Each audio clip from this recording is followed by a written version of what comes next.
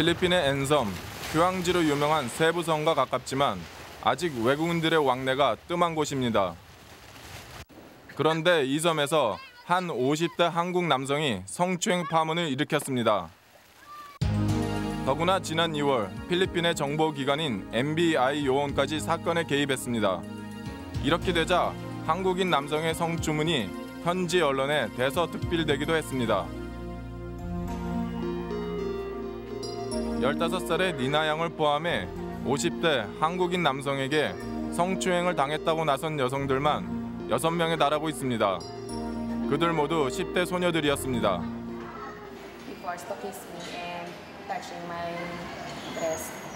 He started ano, saying those words, I love you, I love you. Then he Kissed me on in this li- in, on the lips, and I said no, nang I don't want to do that. And he said no, it's good. He said, and I refused. But Moksa name still hugging me.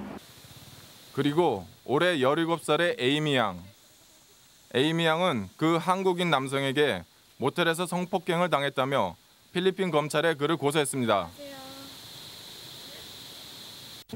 I feel that I really want to kill him. Like that, I really want to kill him. And I really want to shout at him. Yes, I really want to say anything, but I can't because I'm really scared with him. Then 그런 일을 당하고 나서 에이미 양의 아버지는 그간의 사정을 묻는 취재진 앞에서 쉽게 말문을 열지 못했습니다.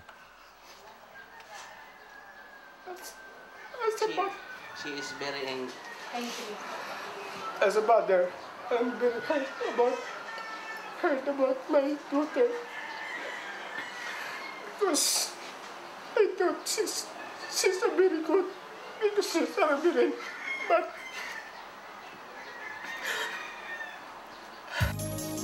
미성년자 성폭행 등의 혐의로 고소된 한국인 남성. 그는 필리핀에서 선교 활동을 해온 현직 목사였습니다. 피해 소녀들은 모두 김 목사가 개척한 교회의 신도들이었습니다. 아이들은 그를 한국말로 목사님이라고 부르며 존경했었다고 합니다. You can call an, a person a reverend if she's a clean, honest. But what is doing here in this church, you cannot call a reverend. 목사님에 대한 교인들의 분노가 식지 않고 있었지만 김 목사는 필리핀 검찰의 조사에도 응하지 않은 채 사건 직후 귀국해 버렸습니다. 그는 현재 지방의 한 기도원에서 은신하고 있습니다. 원래는 한국 개신교회가 해외 선교를 시작한 지 꼭 100년이 되는 해입니다. 많은 한국 선교사들이 자신의 안위를 뒤로한 채 가난하고 헐벗은 이웃을 구제하고 있는 가운데 믿기 어려운 한 사건이 발생했습니다. 필리핀의 한 한국인 선교사가 무려 6명의 소녀를 성추행하거나 성폭행했다는 것입니다. 어떻게 선교지에서 이런 일이 발생할 수 있는지 저희들은 취재에 착수했습니다. 그러던 중 가해자로 알려진 김 목사가 PD수첩팀에 연락해 왔습니다. 너무나 억울하다는 것이었습니다. 지난 5월 6일 취재진은 지방의 한 기도원에서 김 목사를 만날 수 있었습니다. 그는 귀국 후 줄곧 이곳에서 머물러 왔다고 합니다. 국내 한 대형 교단의 정식 파송 선 교사로 지난 8년간 필리핀에서 누구보다 성실하게 활동했었다는 김 목사. 그는 취재진에게 거듭 억울함을 호소했습니다. 애들 더듬었다 하는데 그런 애들 어떤 애 중에 내가 더듬도 안 했고 그냥 이렇게 아는 건데 내가 뭐 하나 있는데 더듬도 안 했고 오래도 키스해주고 했는 건데 이제 뭐 이게 다 엎쳐지면서 하여튼 이게 확대가 됐어요. 되면서 김 목사가 98년 7월부터 선교 활동을 해왔던 곳은 필리핀 한 섬의 중소도시. 그의 선교지는 그곳에서도 대표적인 빈민구역입니다. 주민들은 제때 끼니를 챙기는 것도 버거운 지경이었고 김 목사는 이곳에서 빈민 구호 활동을 병행했었다고 합니다. 그는 지난 8년간 필리핀에 모두 7개의 교회를 세웠습니다. 그가 첫 번째로 개척해 특별한 애정을 갖고 있었다는 교회부터 찾아가 봤습니다. 이 교회에 고용되어 일하고 있다는 마카야란 목사가 지난해 11월 여학생들에게서 놀라운 이야기를 들었다고 했습니다. Mm, Since uh, last year, 2005, uh, some some uh, student, the young people, talk to me about what happening in uh, Mr. Kim. I called all the young people if this is true or not. So They said, yes, Pastor, it's true. They molested me and then. 당시 김 목사에게 성추행을 당했다고 나선 여학생들만 모두 4명이었다고 합니다. 나카야란 목사가 김 목사의 부적절한 행동을 조사하게 된 것은 그중 에이미 양 때문이었다고 했습니다. 지난해 6월부터 김 목사의 교회에 다니기 시작했다는 여고생 에이미 양. I've never, I've never doubt of him because I, really, I really mm, told myself that he's so kind and thing like that. 그런데 지난해 11월 6일 일요일 저녁 7시 무렵 예배 직후 김 목사가 에이미를 집까지 바래다 주겠다고 했고 아이는 별 생각 없이 차를 탔다고 합니다. 그러나 김 목사의 차는 에이미의 집을 그냥 지나쳤고 그가 느닷없이 입양 얘기를 꺼냈다고 합니다. Um, then he told me that someday and someday time will come that I will adopt you as my daughter. Then I laughed, I laughed and I said, no. Then I thought he was joking. Then I will support you everything. I will support your school. Then suddenly he just sit beside me, just sit beside me. Then he touched my legs like that. Then he said that you're so small. Then you're so cute like that. Then then I was I, I just um, thinking that he's doing something like then I said, Namuksanim, what are you doing? Then he kissed me on my lips. Then 에이미 양은 김 목사에게 집에 보내달라고 애원했고 그날은 그렇게 집에 돌아올 수 있었다고 합니다. 사건 일주일 후인 11월 14일 월요일 12시경 에이미 양은 점심을 먹기 위해 학교를 나왔는데 교문 앞에 김 목사가 서 있었다고 했습니다. 일주일 전에 일이 미안하다며 같이 점심을 먹자고 했다는 김 목사. 에이미 양은 그 제안을 거절했지만 김 목사가 팔을 끌다시피 해 억지로 차에 태웠다고 주장했습니다. 그렇게 김 목사 차에 타게 됐다는 에이미 양. 그런데 차 안에는 이미 햄버거와 생수가 있었다고 합니다. he, he approached me. Then we want to drink water. Then I drink water. Then after that, suddenly I had a headache like that. Then I don't know. How long does it take I to, think to feel headache like 15 minutes. after you drink Mm, water? 15 minutes. Then I then I feel unconscious that time. 김 목사가 준 햄버거와 물을 먹고 의식이 흐려졌다는 에이미 양은 이후의 상황을 기억하지 못했습니다. Then when I woke up around five o'clock, then my head was was really painful. Then I don't know what to do. Then After you were awake at the hotel? mm, It no, was hotel? mm, motel. Motel. I'm really scared. Then I, I saw I saw I saw that I have no I have no dress anymore. I have no uniform anymore. Then 김 목사의 차 안에서 의식을 잃은 후 5시간 만에야 깨어나 보니 이 모텔의 침대 위였다고 주장하는 에이미 양. 모텔은 주차장과 객실이 바로 연결되어 있어 종업원들도 드나드는 사람을 볼 수 없는 구조였습니다. 사건 당일 모텔에 왔었다는 에이미 양과 김 목사를 본 목격자는 아무도 없었습니다. 김 목사는 에이미 양에 대한 성추행은 인정했지만 성폭행은 부인했습니다. 평생에 참 약이 어떻게 생기는지 모릅니다. 예, 그리고 한국에서 내 수면제 하나도 내가 저 어떻게 생긴지도 모르고 내가 그렇게 살았는 사람인데 내가 그 사실 그렇잖아요. 내가 보셨는지 모르지만은 걔가 뭐 성적으로는 뭐 어떤 뭐 충돌을 받을 만한 그런 게 있을까 그렇지 않잖아요. You know what? I have here. I bring this one. This is uh, this is our. This is the the uh, what, medical legal, yeah, you know this medical legal of Sam here, yeah, this one. 사건 발생 일주일 후에야 사실을 알게 되었다는 에이미 양의 어머니는 딸을 데리고 산부인과를 찾았다고 했습니다. 무엇보다 임신을 했을까 봐 두려웠었다는 에이미 모녀. 산부인과 담당 의사는 5개월 전 병원을 찾아왔던 에이미 모녀에 대해 자세하게 기억하고 있었습니다. Victim was uh, agitated and very re- reserved, you know. Yeah, sometimes it uh, you have to wait for the for her to answer, you know. Very shy, you know, because the victim is uh, a student, very young, first time. 검사 결과 에이미 양의 천여막은 여러 군데 파열된 상태였다고 합니다. 그런데 김 목사는 취재진에게 11월 14일, 즉 성폭행 사건 당일의 알리바이를 주장했습니다. 그날은 집에만 있었다는 것입니다. 제가 주장하는 그때는 내가 눈병이 나가지고 있는 때였고 요 2주 동안은 그럼 바깥 출입을 전혀 안 하셨나요? 한 주간만 바깥 출을 전혀 못했어요. 주요. 전염성이 강한 눈병이라 일주일간 외출을 할 수가 없었다는 것입니다.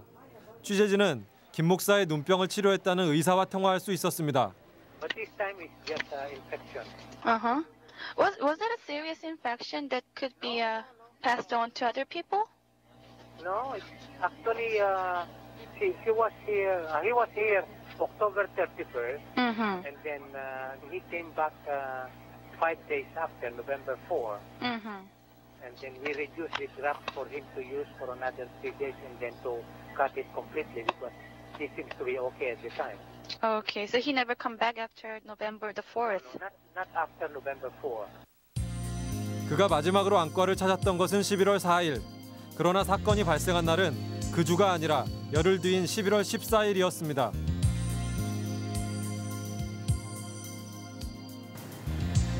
에이미 양의 엄마는 사건 직후 김 목사를 두 번 만났고 그가 딸에 대한 성폭행을 시인했다고 주장했습니다. And then he asked me a forgiveness, and then he really admit that he, yeah, I, I, I um, he said, uh, I have only one responsi- responsibility, and that is now to, to your daughter, uh, Sam or, or Denise. He, he make a, a, what do you call this, um, check. Yeah, he gave me a 20,000 because he, he told me, he promised me that he going to help my family. 김 목사는 에이미 양 성폭행을 부인하면서도 사건 직후 서둘러 합의에 나섰던 것으로 확인됐습니다. 돈을 주고 가면서 합의를 보실 이유가 없지 않습니까? 근데 필리핀에서는 그렇습니다. 무조건 사건이 난다 하면은 그뭐 다른 나라도 어쩐지만 내가 사, 내가 아는 상식에서는 이제 이런 식으로 합의를 빨리 바꿔야 일단 사건 취소가 되기 때문에 이제 그런 이제 차원에서 나는 어찌든지 뭐저 같은 경우에는 또 목사에게서 이런 것만큼 진행타가 어디 있습니까? 이 교회에서만 피해자라고 주장하는 여학생들은 모두 4명. 에이미 양은 성폭행 사건 일주일 후 교회 친구들에게 처음 그 사실을 털어놓았다고 합니다. 그러자 그 친구 역시 김 목사로부터 성추행을 당한 적이 있었다고 했고 다른 아이들도 비슷한 이야기를 하기 시작했습니다. I should I should give him my first my first kiss. Then he, kissed me. Then he was hugging me, touching my breast.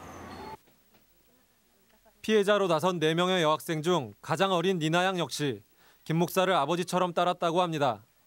니나 양의 부모도 김 목사를 고소한 상태입니다. 네 아이들은 모두 김 목사의 차 안에서 성추행을 당했다고 주장합니다. 김 목사는 사건이 불거지자 이들 부모에게 장학금이라는 명목의 합의금을 건넨 것으로 확인됐습니다. Kissed me, just just give me one, now just give me a kiss, and then I kissed him on the cheeks, and then he said, "It's not good." Kiss me on in this in, on the lips, and I said, "No, now I don't want to do that." And he said, "No, it's good." He said, and I refused. But Moksanim still hugging me. Nang nang his hands is over with me it's like this. And he said to me, just kiss me one more, one, and then he will, he will fetch me on my house. 메리 양의 부모는 김 목사에게 7만 5천 페소, 우리 돈 150여만 원을 받았습니다. 필리핀 노동자의 평균 월급은 5천 페소 정도, 우리 돈 20여만 원입니다. 김 목사가 아이들의 부모에게 건넨 돈은 그들에겐 상당한 거금이었습니다. Muksanim also asked forgiveness. But, uh, but uh, for uh, at first, I told the members already and the pastor that I will never uh, accuse Moksanim and I will not I will not bring this incident into court because I don't want to be put into shame. 로라의 부모들은 우리 돈 40여만 원을 받고 합의서에 서명했습니다. 김 목사는 이곳 빈민가에서 선교 활동을 하면서 주민들에게 쌀을 사주거나 몇몇 아이들에게는 장학금을 지급했다고 합니다.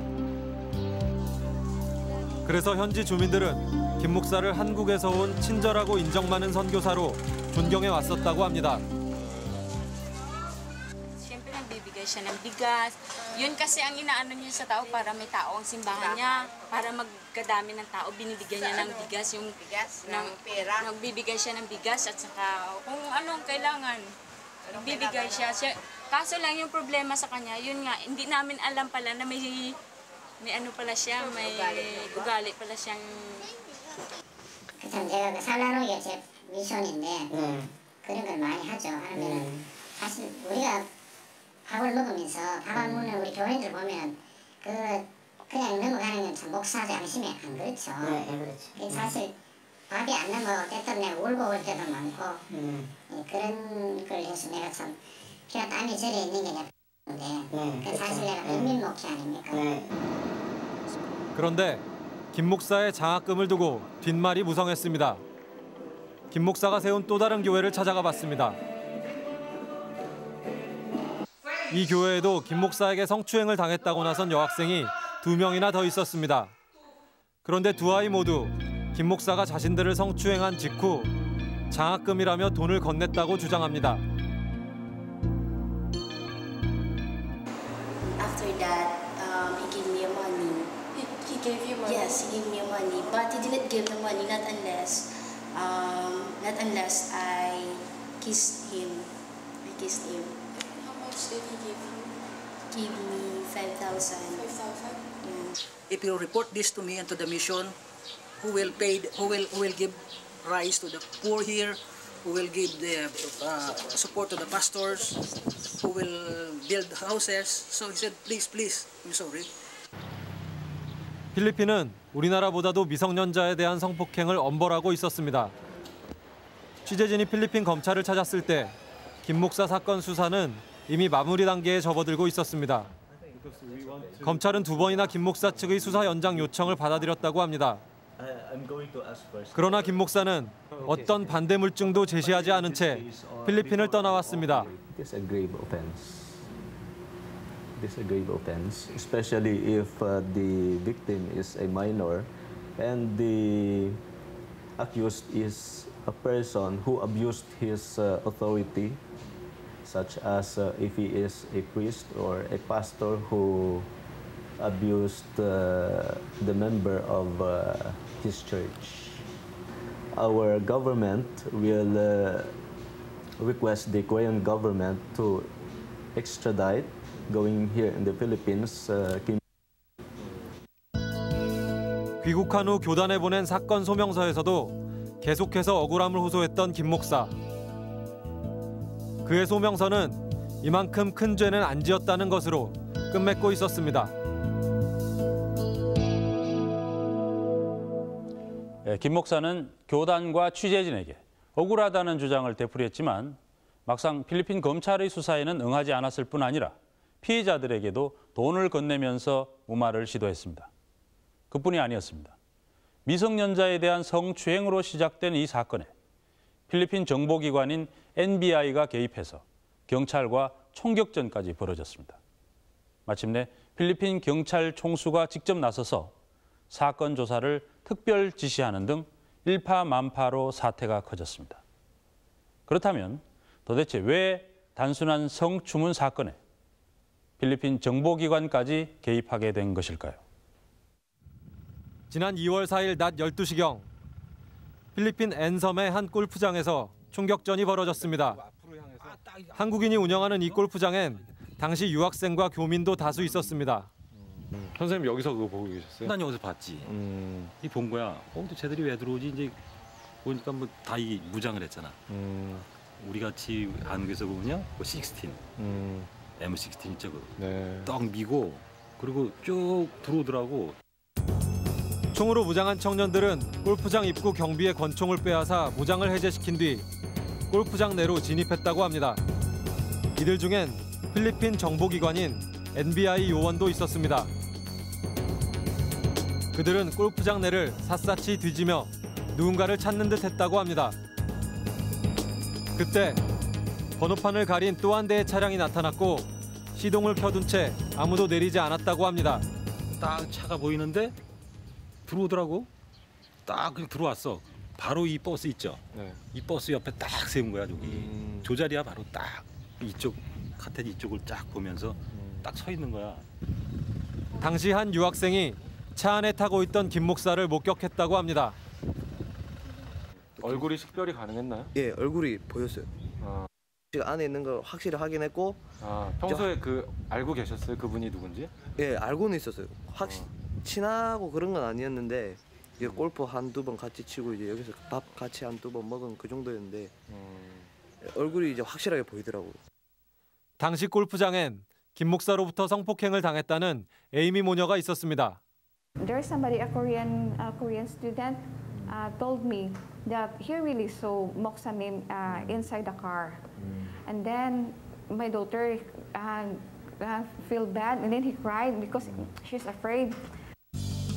골프장 직원의 도움을 받아 건물 뒷문으로 빠져나온 에이미 양은 곧장 오토바이를 타고 골프장 밖으로 도망쳤다고 합니다. 골프장 측의 요청으로 필리핀 경찰이 들이닥쳤고 무장한 NBI 요원과 경찰의 대치가 시작됐습니다. 그렇죠. 학생들은 그래서 막 이제 피어라고 총을 빵 쏘면서 여기 있던 나중에 온 스타렉스 내린 사람들은 그냥 막 소리 지르고 그냥 엎드려 그러고 막 발로 차고 막 이러니까 이제 응? 다 피하라고 이제 가서 이쪽으로 피하고 저쪽으로 피하고 일단 피해라 이거야 학생들 피해라 수적으로 열세였던 NBI 요원 등은 곧 경찰에 의해 무장해제를 당했고 전원 경찰에 연행되었습니다. 필리핀에서 경찰과 NBI가 충돌한 것은 거의 전례 없는 일이라고 합니다. NBI 요원 등이 검거된 직후 뒤늦게 나타났던 차량은 급히 골프장을 빠져나갔습니다. 경찰이 총을 쏘며 추격했지만 검거에 실패했습니다. 당시 출동 경찰이 도주한 이들의 신원을 확인해 주었습니다. We know later uh, the name. Later. Yeah, later. Uh, so what is the name? Uh, it was uh, Pastor Kim.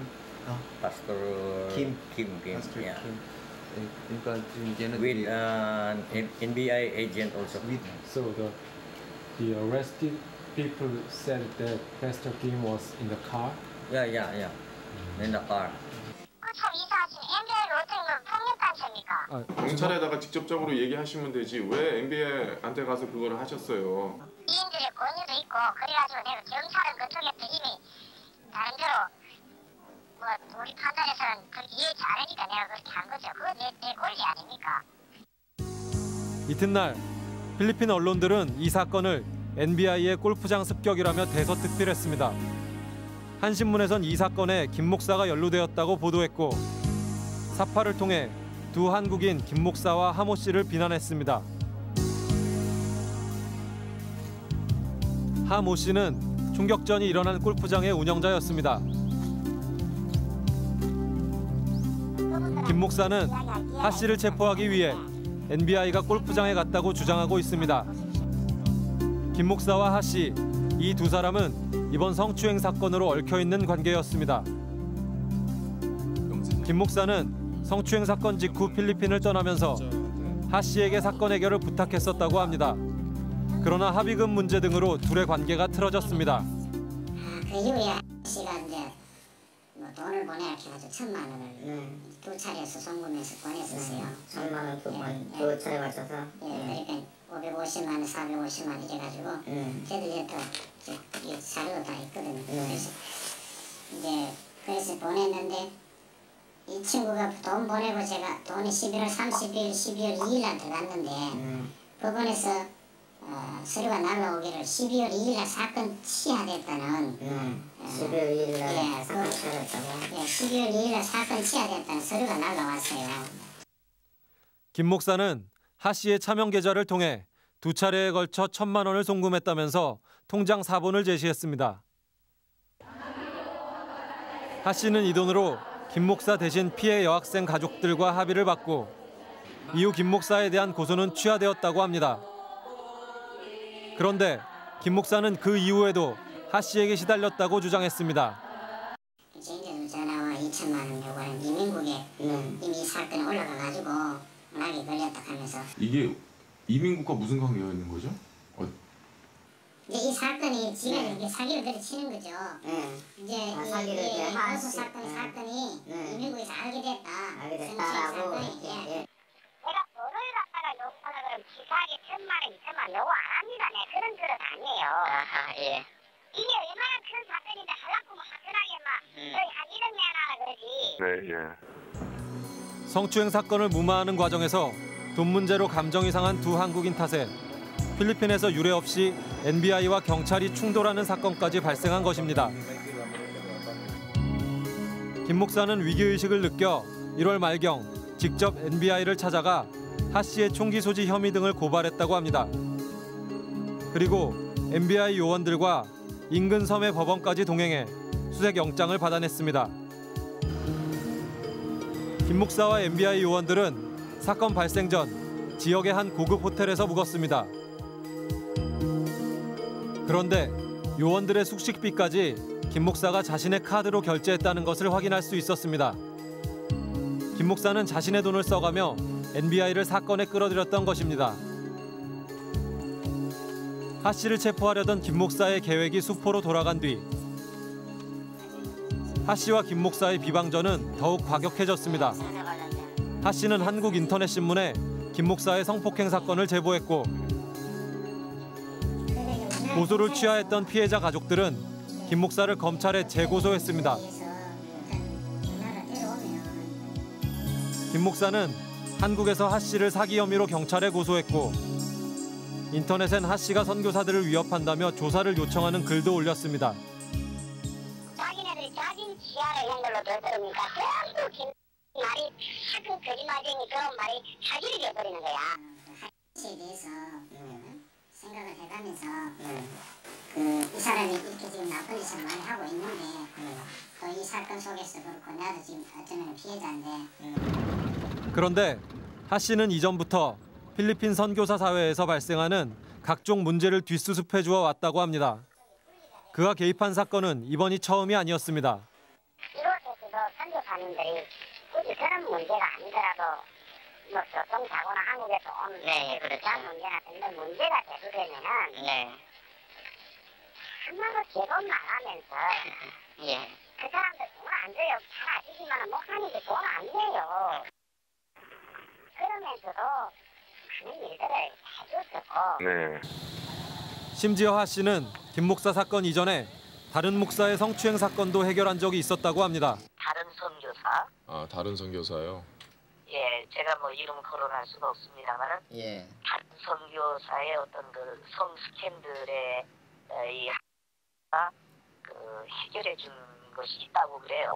그, 그 목사님 그 약간 그 성추행 건에 대해서는 혹시 그 하, 선생님께서 이렇게 진짜 그뭐 이렇게 해결하는데 도움 주시거나 그, 그러셨던 거 그거 맞죠? 그는 선교사님하고 이야기하시고 예. 선교사님하고 말씀하시면은 이야기해줄 거예요. 껄끄러운 일이 생길 때마다 다른 사람의 손을 빌리고 돈으로 막아왔던 김 목사와 또 다른 선교사들. 김 목사는 지금도 사건을 잘 마무리하지 않은 하 씨를 원망하고 있었습니다. 만약 이 사건이 선교사 한 명의 개인적인 범행이라면 그나마 다행일 것입니다.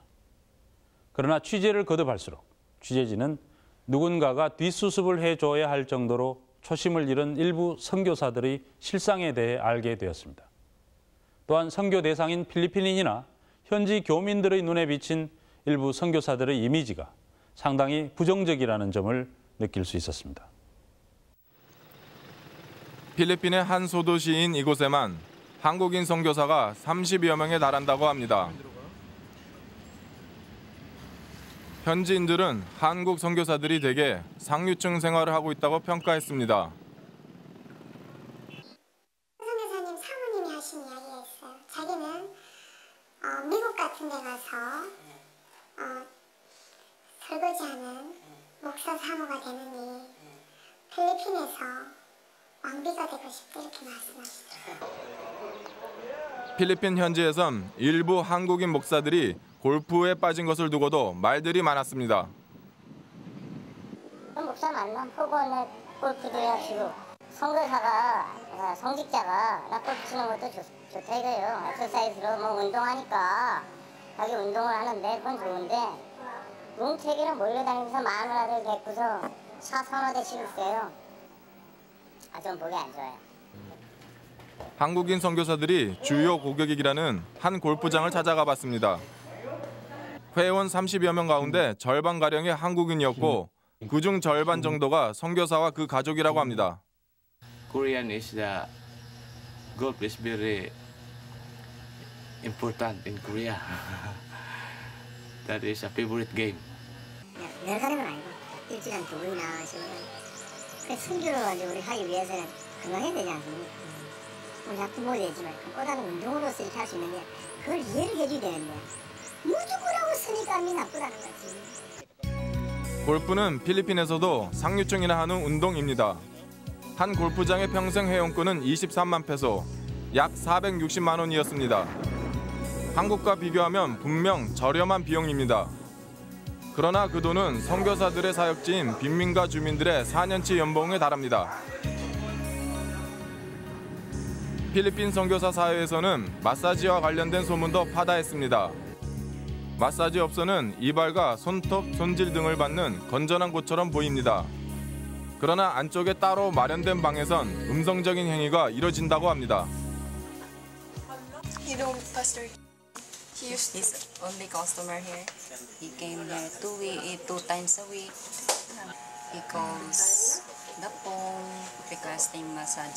Outside in a hotel. I don't know what is massage.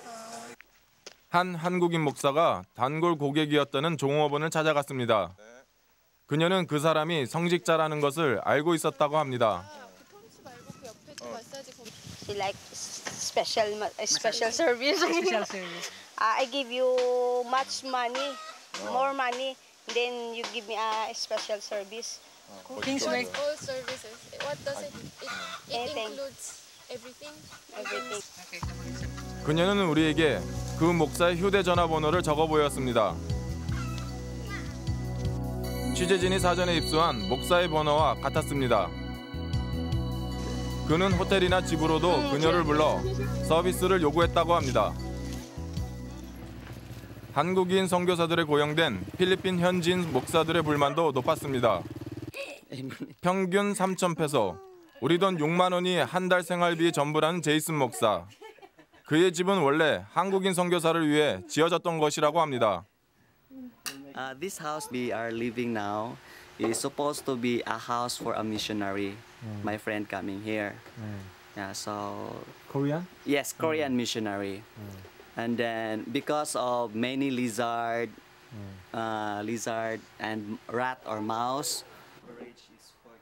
제이슨 목사는 한국인 선교사에 고용돼 일하는 동안 그들의 생활을 가까이에서 지켜볼 수 있었다고 합니다. Three singles. Uh, there are only few pastors working with uh, a Korean missionary for a long time. So this is only a very short time. Because it is hard. Yes, hard. Not only in finances, but also in like a master-servant relationship. Is only this the picture is go go go go. Just only the servant. 필리핀 목사들은 한국인 선교사들의 특징을 두 가지로 요약했습니다. 권위적이고 돈이 많다는 것입니다. 더구나 그들이 받는 후원금에 대한 관리 감독이 소홀했다고 합니다. People come here, they start out with good motives, but eventually they become corrupted, especially if there's so much money, and then nobody is checking on them. So you know, they're just a human uh, 선교사들은 교단으로부터 공인된 체제비 지원과 선교 사업 승인을 받습니다. 그 밖에 후원금은 교단을 통하지 않고 선교사가 직접 개인과 개별 교회 요청하는 경우가 많아 관리 감독하기 어렵다고 합니다. 따라서 선교사들 중에는 더 많은 개인들과 교회들로부터 후원받기 위해 선교 자체보다 일명 고객 관리에 더 열심인 경우도 있다고 합니다. 한국 교회 가서 사진 한 장 비치면 그 교회에서 돈 받고 다른 교회에서 비치면 또 돈 나오고 무슨 말인지 이해가 가요? 몇 군데 재탕 쓰리탕을 해 먹을 수 있단 말이야. 한국 교회에서 성금 받은 교회에서 목사가 올 거 아니야. 우리 현재 돈 보는데 어떤 애들이 있나. 그럼 와서 또 기념 촬영하고 아주 뭐 그냥 변수 막 크게 달고 무슨 말인지 알겠냐고. 자꾸 써먹으니까 현지인 애들이 우리 왜 이렇게 사진을 많이 찍느냐. 후원교회가 생활비나 이런 것들에 대해서 네. 예, 그런 것들은 이제 우리를 통해서 보냈고 다른 부분들에 대한 것들은 직접 보냈더라고요. 음. 교회나 후원자들로부터 다이렉트로 가는 부분들도 있지 않, 있기 때문에 음. 그런 부분은 실질적으로 어려워요. 취재진은 한 필리핀 선교사의 후원인 명단을 입수했습니다. 고객 명단이라고 이름 붙여진 명단의 후원자만 200여 명. 상당수가 매월 일정액을 선교사에게 송금하고 있었습니다. 이제 막 어떻게 하든지 그, 그 한테로 말하면 이제 빼앗아가는 거죠. 또 그분도 다른 목사님을 권하는 분인데 가르쳤거든요. 근데 그분도 또막 화가 나가지고 막 싸움을 하고 그런 것들이 이제 비비비세, 비비비세에 나타나니까 어떨 때는 이 필리핀 사람들한테 보기에 어떤 모습 비추, 비추어질까 우리의 소도시 정도 규모인 필리핀 DC에 한국인 선교사들이 개척한 교회의 수만 60여 개에 달한다고 합니다. 교회들은 도심 반경 15km 안에 모여 있습니다. 그러다 보니 교회 신도수를 둘러싸고 한인 선교사들 사이의 경쟁이 치열해졌다고 합니다. 뿐만 아니라 한인 교회 간의 알력도 만만치 않아 교민들의 원성을 사고 있었습니다. 서로를 씹어요. 교회가 생기면 이 교민들을 빼갑니다. 이쪽 교회들은 저희 신도 뺏기는 거 열받으니까 그러지 마, 그러지 마. 그러다가 이제 이렇게 치고 선교사들이 이렇게 다 갈라지면 그거에 따라서 교민들도 갈라지고. 네. 뭐 조그마한 사회에서도 서로 등 돌리고 사는 집들도 있더라고요. 아, 그 교회 때문에. 저는 그래서 필리핀 교회 다니거든요. 필리핀 이스라엘에서 네, 네, 현지인 교회가. 차이가 좀 일단은 그럼 여기가 좁고 사람들이 적으니까 인간관계들이 막 얽히게 되잖아요. 좁은 데서는 그런 건 피할 수 있죠. 아예 그쪽으로 발을 안 들여고 선교사들도 불협화음을 인정합니다. 그러나 최근 불거진 김 목사 성추행 사건엔 한 목소리를 냈습니다. 뭐 잘했다는 이야기는. 사람 쉴 수도 있고 나도 못하는데 뭐 스님도 뭐 실수할 있는 거고 내가 그분 입장이라면 어떻게 할까. 그래서 그거는 괜찮아요. 또 MBC에서 이까지 또 오시게 되면 나는 그에 대해서 이해가 잘 안 하고 말안 하고 싶어요. 저희도 그래요. 그런 분들이 정말 정말이 막 사실 이제 기독교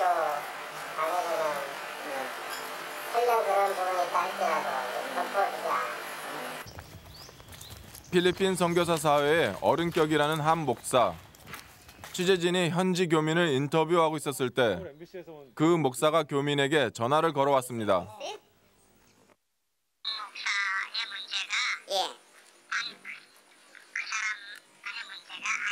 예. 예. 그래 서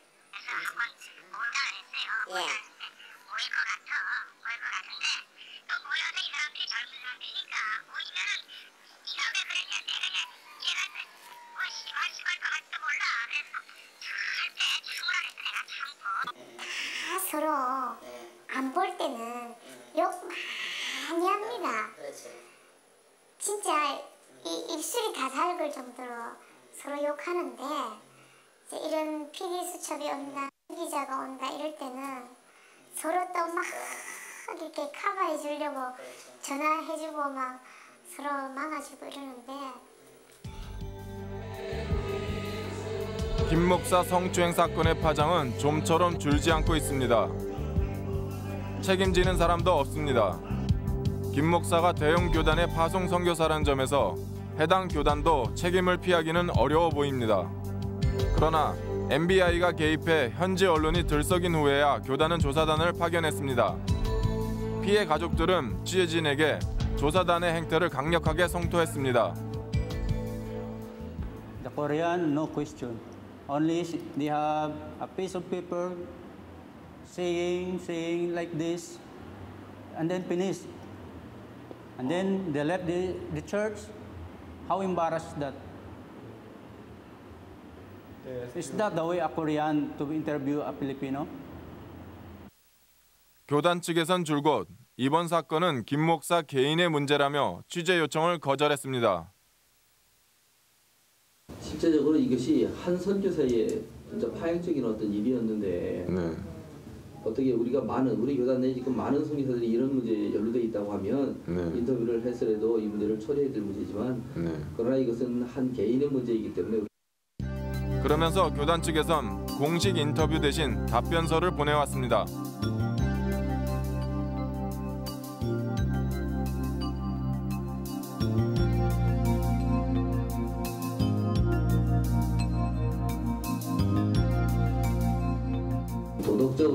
문제가 되는 문제니까 그럼 네가 사임을 해라. 그렇게 해서 이제 권고 사임을 시킨 거죠. 권고 사임을 시킨 거고 이것을 통해서 지금 14,000명이나 나가는 나가 있는 선교사들에게 피해가 간다고 하는 사실 생각하면 이건 참 엄청난 거거든요. 또 다른 면에서의 또 피해들을 양산하면 그건 좀 안 되겠다. 제가 자숙하고 참 뭐, 내 나름대로 내 생을 내가 살아야 되기 때문에 모든 교단하고 관계를 끊고 사실 좀 국민으로 돌아와야 겠다 아닙니까? 나도 또 거기 다시 가고 싶고 선교를 할수 있도록 그렇게 해줬으면 좋겠는데 이렇게 속절하게 이제 붙잡고 있으니까 저도 지금 뭐 한국의 선교사 파송 수는 미국에 이어 세계 두 번째입니다. 그들이 전하는 것은 종교만이 아닐 것입니다. 필리핀 현지 빈민촌 사람들 대부분이 생애 처음 만났던 한국인이 바로 선교사인 김 목사였습니다. 네, 장혜원 PD. 예, 지금 그 해당 교단에서는 김 목사 사건을 계기로 필리핀에서 집 지어주기 운동을 하고 있다고 하죠. 네, 그렇습니다. 교단 측에선 김 목사 사건을 계기로 지난 2월 막대한 산사태 피해를 입은 필리핀 레이떼 섬에 대한 복구 지원을 발표하고 발빠르게 선발대를 보냈습니다. 물론 좋은 일이긴 하지만 이런 물질적인 지원 외에도 교단 측이 재발 방지책을 마련하고 김 목사가 직접 피해자들 앞에서 진정으로 참여하고 사과하는 모습을 보여야 할 것입니다. 네. 에, 김현기 PD. 어, 이 사건이 빙산의 일각이라는 주장도 있는데 어, 현지에서 느낀 분위기는 어땠습니까? 예, 무엇보다도 선교를 위해서가 아니라 대접을 받으러 온 듯한 일부 한국인 선교사들에 대해서 현지의 시선이 곱지 않았습니다. 더구나 취재를 진행하는 동안 인도네시아, 중앙아시아 등지에서도 비슷한 제보가 잇따라서 선교사 사회의 문제가 필리핀에만 국한되는 문제가 아니라는 것을 짐작케 했습니다. 네. 에, 현재 세계 각지에 파송된 한국의 선교사가 14,000여 명. 미국에 이어서 두 번째 선교 대국이라고 합니다. 그러나 이번 사건에서 드러난 것처럼 한국 선교가 너무 양적인 성장을 추구하는 것은 아닌지 걱정스럽습니다. 해당 교단은 대부분의 선교사들이 선량하니까 문제될 게 없다고 합니다만 일부 선교사들의 일탈로 피해 입고 고민하는 이들은 누구보다 그 선량한 선교사들입니다. 그들 중에는 한 달에 40만 원도 채 안 되는 후원금으로 자신을 희생해가며 선교에만 열중인 분들도 있었습니다. 그분들을 위해서라도 좀 더 내실 있는 선교 대책이 마련되기를 기대합니다. 오늘 PD수첩 여기서 마치겠습니다. 감사합니다.